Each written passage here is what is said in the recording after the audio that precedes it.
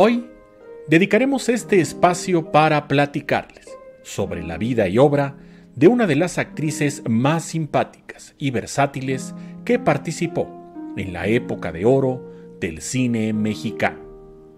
Lamentablemente, fue amenazada por la Liga de las Buenas Costumbres, pues consideraron que su aspecto físico y forma de actuar ridiculizaban a las damas de alta sociedad. Por otro lado, es importante hacer mención que fue expulsada de España por haber participado de manera activa en la guerra civil. Antes de comenzar, los invito a suscribirse a este canal, activen la campanita, denle like a los videos si así lo consideran. Al finalizar este trabajo y como ya es costumbre, me permití incluir un comercial de la década de los 50. Espero lo disfruten. Comenzamos.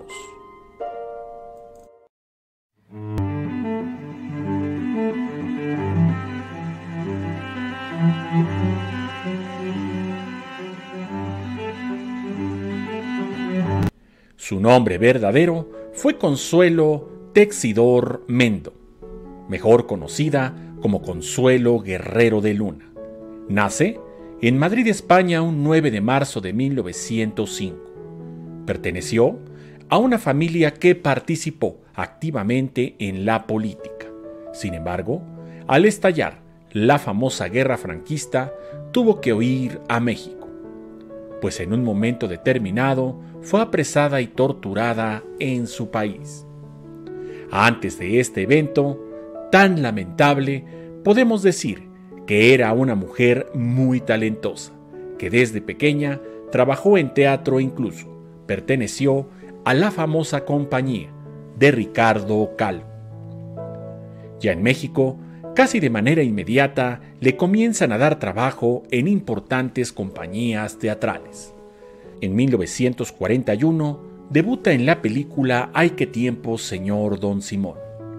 Gracias a esta, le proponen importantes proyectos cinematográficos, pues cabe hacer mención que escaseaban las actrices cómicas.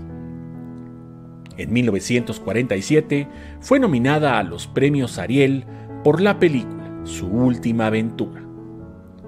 Dentro de sus películas más recordadas podemos mencionar La Liga de las Muchachas, 1950, Las aventuras de Pito Pérez, 1957, entre otras. En la parte personal, podemos decir que fue una dama muy discreta.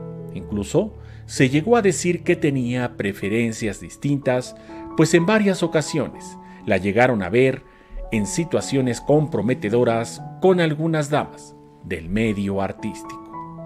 A consecuencia de haber realizado la película La Liga de las Muchachas, Consuelo es requerida por la influyente sociedad de la Liga de la Decencia, encabezada precisamente por Beatriz Velasco, esposa del presidente en turno Miguel Alemán Valdés, la cual en un tono imperativo y desafiante, la amenaza con repatriarla si seguía, ridiculizando a las damas de alta sociedad. Se dice que Consuelo lo único que replicó fue que ella estaba en un país libre. Acto seguido, esta talentosa mujer le cerraron las puertas del cine y el teatro. Esto solo unos meses, pues afortunadamente para ella, el periodo presidencial de Miguel Alemán estaba por acabar. Ya para 1952, Consuelo tenía importantes expectativas para regresar al cine. Sin embargo, la también talentosa Vitola comenzó de alguna manera a desbancarla. Incluso, Consuelo llegó a decir que ésta le copió su estilo de actuar. Alguna parte de la prensa publicó que llegó a tener un grave conflicto precisamente con Vitola. Esto en un set de grabación. Consuelo, de poco en poco fue perdiendo oportunidades de trabajo ya que su vista comienza a fallarle, a grado tal que ya no podía tener una vida independiente.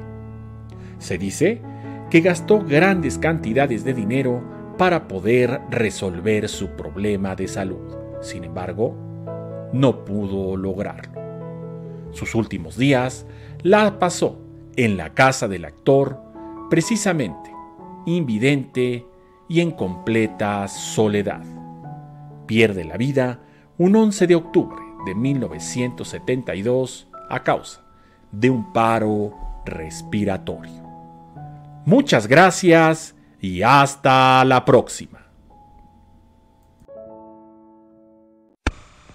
Scotty. ¡Qué suave! Scotties absorben. Scotty resiste. No hay dificultad para Scotties sacar y usar. Scotties le acarician. Scotties todo secan. Scotty no se rasga. Scotties no se atoran. Tener Scotties cerca, qué buena costumbre.